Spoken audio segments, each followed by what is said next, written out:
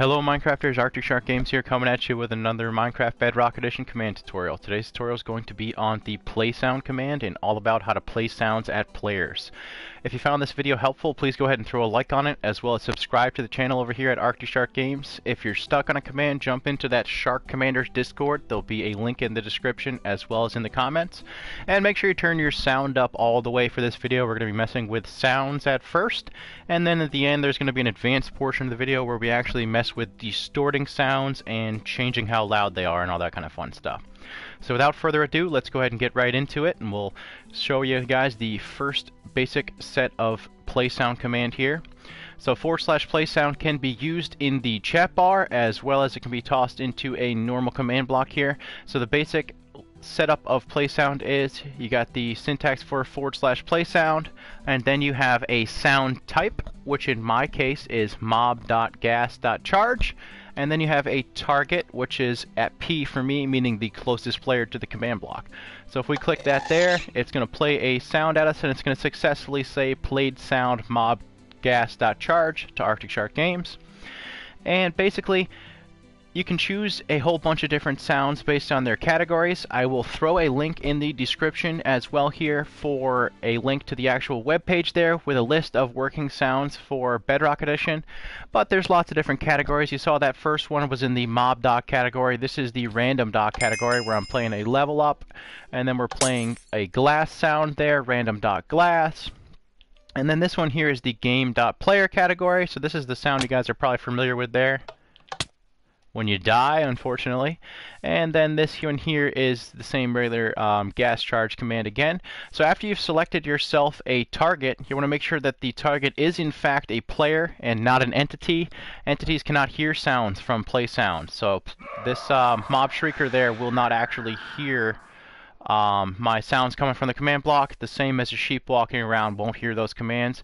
If we try to play a sound at an entity, it's going to say selector must be a player type. So if you guys run into that error there, it's because you need to select at P, at S, at A, some type of player. Now, the next step in the play sound command is totally optional there. Um, there's a few different portions of syntax I'd like to go through in the next portion of the video, but I want to give you guys a couple of examples here of different sounds that you can do and sort of how you can tie these sounds into real world things.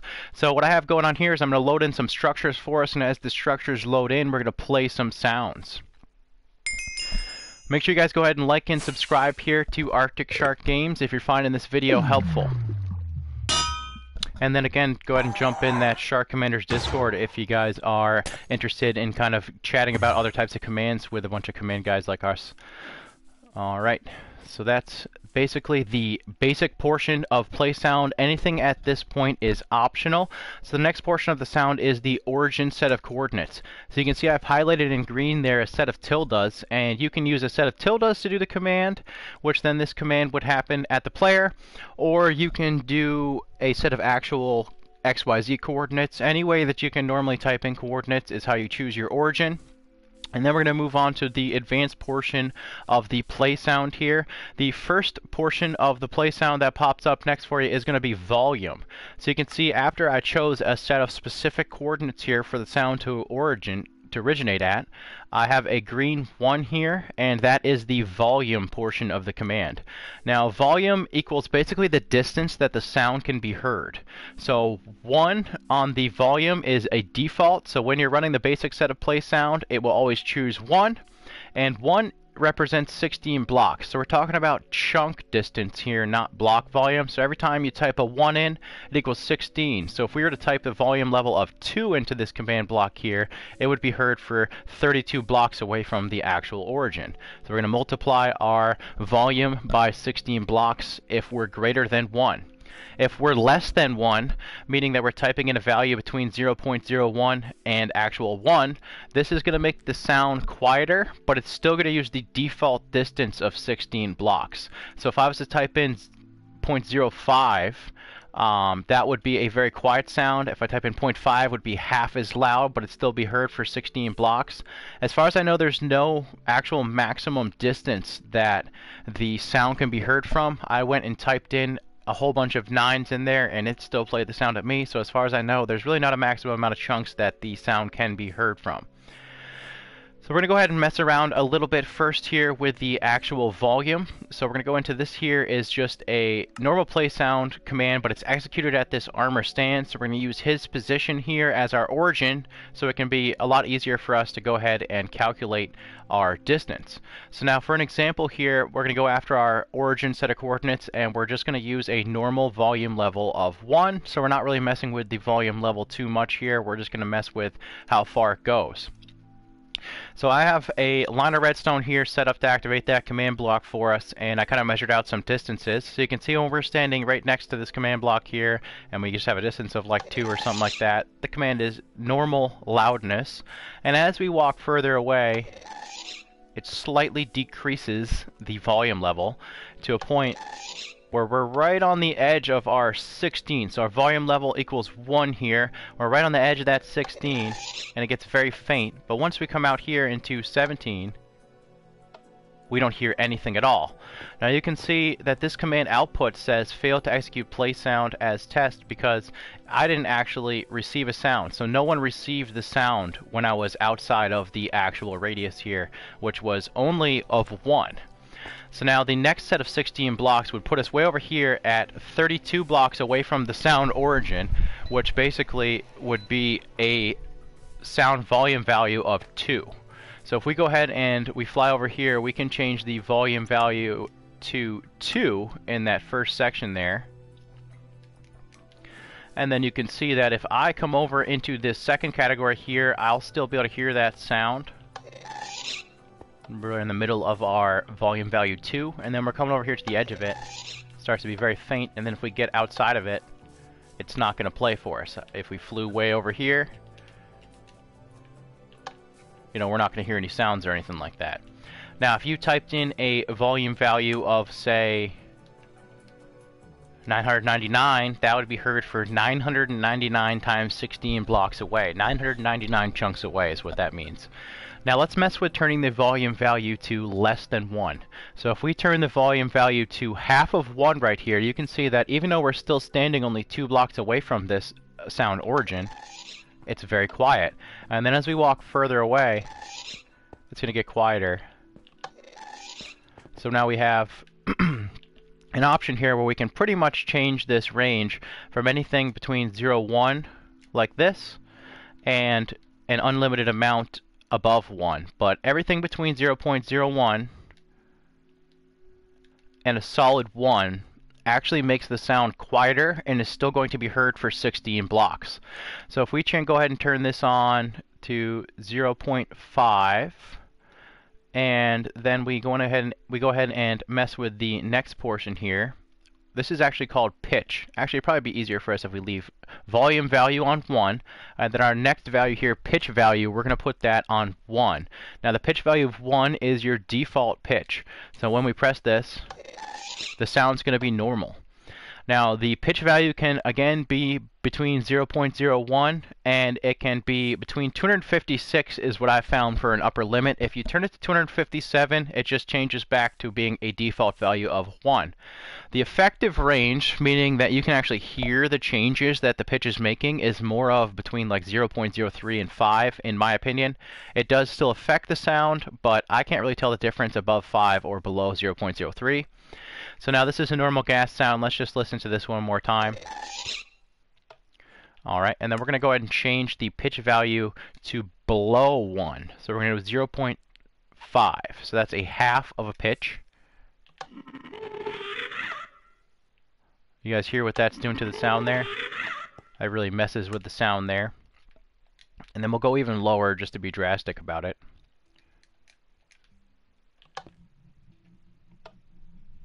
I don't know if you guys can hear that, but it is in fact playing an incredibly low rumble of that sound.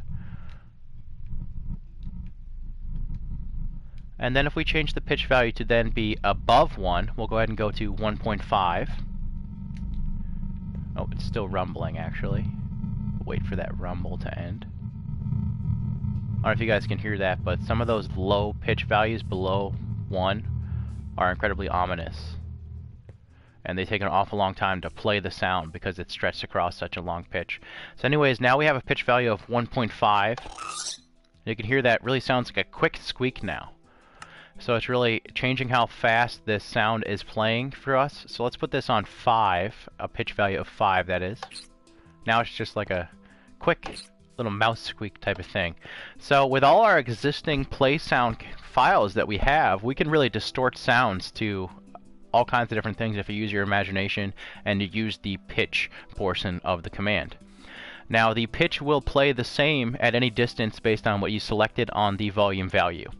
So we're going to go ahead and take our pitch away and we're going to put it back on 1 so that we're not really messing with the pitch at all. And we're going to take our volume level and we're going to put that on 1 and then we're going to go ahead and put our minimum volume level on 1 as well. So now we have three ones after our origin set of coordinates. So this here you can see the third one, this green one is what I'm talking about here, volume minimum. So now volume minimum is very confusing. Um, it kind of messes with the command a little bit, and I don't actually recommend to use this portion of the command. If you stick around to the end here, I'll show you how to kind of fix the problems that we're about to run into. But volume minimum, basically, if the distance is greater than the volume value, then the sound will actually be louder after the volume value. So that's a very confusing sentence right there. But basically, if my number is larger, so if I have a volume value of 1, when inside of my area I have a if I have a volume minimum of 1, but my volume value is half of 1, that means when you get past the 16 blocks, it's actually going to be louder than it is inside the 16 blocks. So let's go over here and demonstrate that for a second for you here. This is very confusing. Um, Alright, so we're going to go ahead and put our volume value on 1, and then we're going to put our our sorry, volume value is on half, and our minimum value is on 1. Those two confuse me a lot there. So we're going to have half of our value, and then we have a minimum at 1. So what that's going to do now is it's going to play the sound pretty quiet for us, and then we're going to get outside of our 16 block range that we're normally selecting with the default volume value and we're going to play a sound notice again, and it's actually louder. So you can notice when I'm standing here, pretty quiet, stand here, louder. That's contrary to how volume should logically work, right? So that's not really something that I recommend doing. Um, in order to fix this, what I've done actually is I've changed it to just use some target selectors and I ran two separate play commands. So basically we're just running these two in a chain and we're making sure that only one sound plays at players in the first area, the first 16 blocks, and then a second sound plays in the second area past 17 blocks.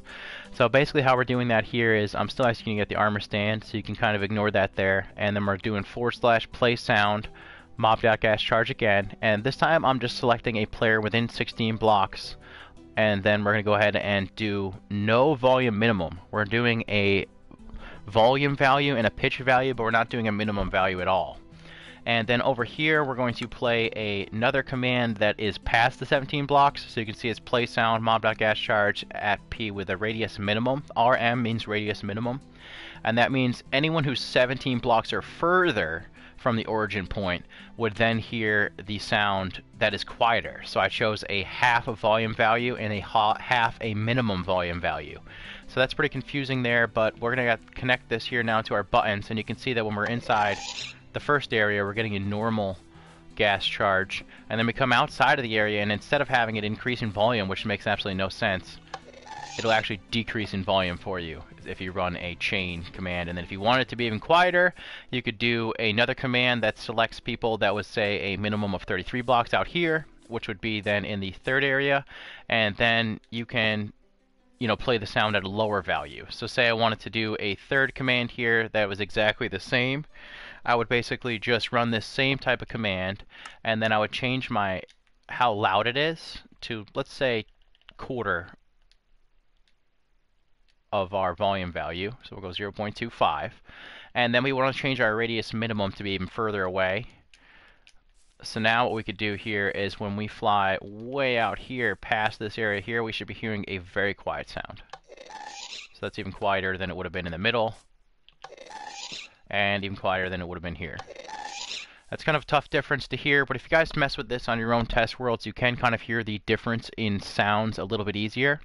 In any case, if you guys found this video helpful, please go ahead and throw a like on it and subscribe over here at Arctic Shark Games on YouTube. It helps the channel out a ton. And if you want to stick around for one extra minute here, I can go ahead and mess around and show you guys how this actual structure load works here with the subscribe buttons. So we'll go ahead and I just have a fill command that will erase these for us.